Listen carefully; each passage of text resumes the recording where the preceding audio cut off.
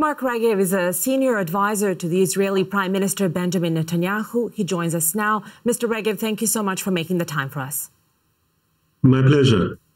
Mr. Regev, I want to start with your response to the comments from several top U.S. officials in the last few days, starting with Antony Blinken, yesterday Kamala Harris, uh, today uh, Secretary of Defense Lloyd Austin, have all expressed a similar sentiment, which is Israel, we want Israel to, to, to do what it's doing. We want it to get to Hamas. However, Israel has to do everything in its power to minimize uh, the, the deaths of civilians.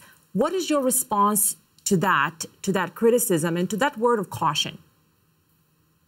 Well, we embrace those sentiments uh, as we pursue Hamas, and we will destroy Hamas in parallel it's incumbent upon us as a democratic society to make every effort possible to limit uh, uh, civilians being caught up in the crossfire between the Israeli Defense Forces and the Hamas terrorists. And we will continue to make such efforts. Uh, ultimately, the people of Gaza, the civilian population, are not the targets of our operation. The targets of our operation are the brutal Hamas murderers who, who, who butchered our people. Mr. Regev, I think what some people are going to say is uh, whether or not they are the targets, they are in fact uh, people who who are who are dying en masse. Fifteen thousand people. That's according to the uh, health authority. That yes, those numbers are that health authority is run by Hamas, but uh, international observers calculate that at least forty to fifty percent of those people are in fact uh, children. What is your response to that, and what is Israel doing right now? To minimize and mitigate uh, uh, those deaths of civilians? So obviously, those numbers, as you say correctly, are Hamas-provided uh, uh, numbers.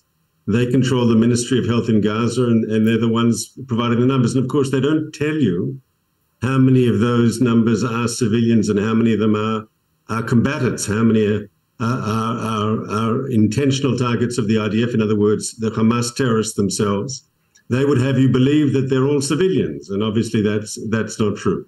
But you asked a second question. You said, uh, "What are we doing to prevent uh, to prevent that sort of thing?" And so, from the very beginning, the most important thing that we've been doing is urging civilians to get out of uh, areas that are uh, we expect there to be heavy combat, get them out of harm's way, move them to a safer zone.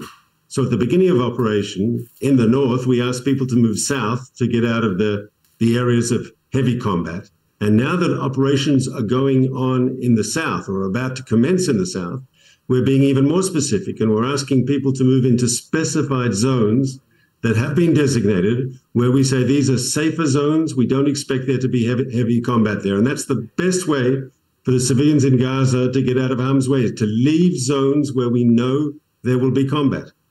I want to bring to your attention something that the chief prosecutor of the International Criminal Court just said. He just wrapped up a visit to Israel and to the Palestinian territories, and he had this to say at the conclusion of his trip. And I want you to hear this clip as well.